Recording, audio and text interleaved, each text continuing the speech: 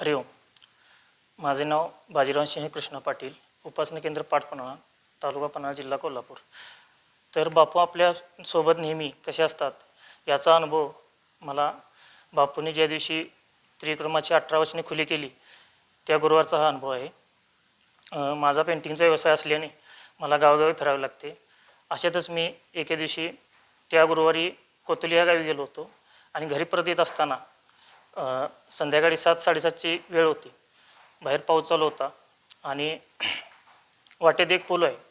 त्या पुलावरती आल्यानंतर एक व्यक्ती माझ्या गाडीच्या समोर आडवी आली. साधारणतः वय पंचावन्न साठ वर्षे वय होते. ती व्यक्ती मला म्हटली की बाळ बाळ थांब मी तुझ्या गाडीवरून येणार आहे.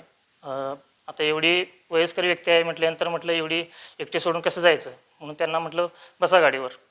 गाडीवर घेतल्यानंतर मी बोलत बोलत हळूहळू परत समोर एक पुढे गाव गाव एक आहे. त्या गावाच्या विषयीपर्यंत आलो.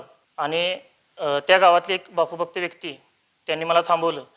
आणि त्या व्यक्तीला पाठीमागून गाडीच्या पाठीमागं बघितलं तर माझ्या गाडीवरती व्यक्तीच नव्हती. त्यानंतर मी जरा घाबरलो. आणि त्या व्यक्तीला बापूभक्तांना विचारलं की माझ्या गाडीवरून कोण उतरलं का? तर तो म्हटला नाही तुम्ही एकटीच आलात. तुम्ही असे का म्हणाला? मग मला काय समजायचं ते समजलं. बापूंना अंबानी म्हटलं.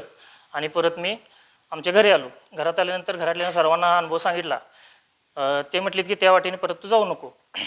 पण माझं कामच त्या रोडला असल्यामुळे रस्त्याने असल्यामुळे मी दुसऱ्या दिवशी परत शुक्रवारी त्याच वाटेने परत गेलो. आणि त्यानंतर म्हटलं की आज संध्याकाळी लवकर घरी यायचं. वेळ करायचा नाही. आणि त्या संध्याकाळी परत येत असताना त्यावेळी पण सात साडेसातची वेळ झाली मला. आणि मी काय ठरवलं की आता त्या मार्गी जायचं नाही. दुसरा एक पर्यायी मार्ग आहे. त्या मार्गाने जायचं. म्हणून मी म पोहाळी मार्गे जायचा निर्णय घेतला. आणि ज्यावेळी मी पोहाळी मार्गे जायचा निर्णय घेतला त्यावेळी या पुलावर गेलो त्या वाटेला पण एक पूल आहे. त्या पुलावर गेल्यानंतर त्या पुलावर नुसतंच पाणी आलेलं होतं पुराचं. आता म्हटलं बापू ना बापू आता काय करायचं? आता मला परत त्याच मार्गाने जावं लागणार. म्हणून मला फार टेन्शन आलं. आणि परत बापूंना म्हटलं तुम्ही तुमची इच्छा. असं म्हणून मी परत गाडी रिटर्न फिरवली आणि त्याच मार्गे परत यायचं असं ठरवलं. आणि आणि त्या एका कोपऱ्यावर आल्यानंतर बापूंना म्हटले की बापू माझ्यासोबत तरी कोणतरी पाठवा कारण मला तिकडे एवढी जायचं धाडस मला होत नाही. तेव्हा काय झालं की समोर एक झाड होतं आणि त्या झाडात अंधारा खा अंधार होता. अंधार असल्यामुळे मला काय दिसलं नाही स्पष्ट पण त्या झाडाखाली जी एक व्यक्ती थांबली होती ती पण बापू भक्तच होती. त्यांचा काहीतरी कार्यक्रम पोरले बोरगाव या ठिकाणी होता का बापूंच्या सत्संगाचा कार्यक्रम होता. त्यासाठी ते निघाले होते.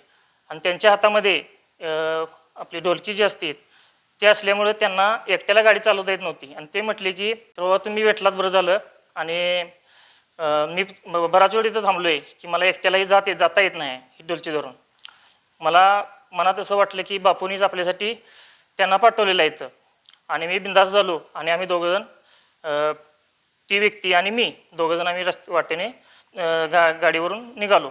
पण समोर आमच्यासमोर दोन गाड्या अशा होत्या की त्या मलाच फक्त दिसत होत्या आणि त्या बापू भक्ताला आमच्या दिसत नव्हत्या त्यांना मी म्हटलं ह्या गाड्या समोरचे दोन आहेत त्या आपल्या तुमच्याकडेच निघाल्यात सत्संगाला? तर ते म्हटले नाही कुठल्या गाड्या? मला तर काही गाडी दिसत नाही. परत मी काय समजायचे? समजले की बापू आपल्यासोबत आहेत. परत मग घरी गेलो. घरी गेल्यानंतर परत बापूंना अंबरने म्हटलं. परत शनिवारी त्याच मार्गे परत गेलो.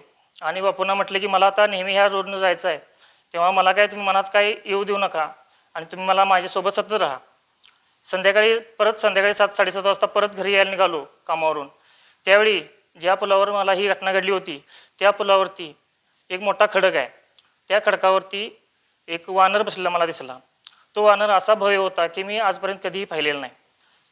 मग मला वाटलं की हा माझा साक्षात हनुमंतच आलेला आहे आणि मी त्यांना बघून प्रणाम केला नमस्कार केला आणि बापूंना आंबदने म्हणत म्हणत बापूंचा जप करत आहे त्या मार्गानं परत घरी आलो. आणि आजपर्यंत जवळजवळ आता तीन चार वर्षे झाली या गोष्टीला. पण कधीही मला त्या वाटेला म्हणजे असं परत कधीही मला शंका येईल असे कधीही वाटलेलं नाही. हरिओम.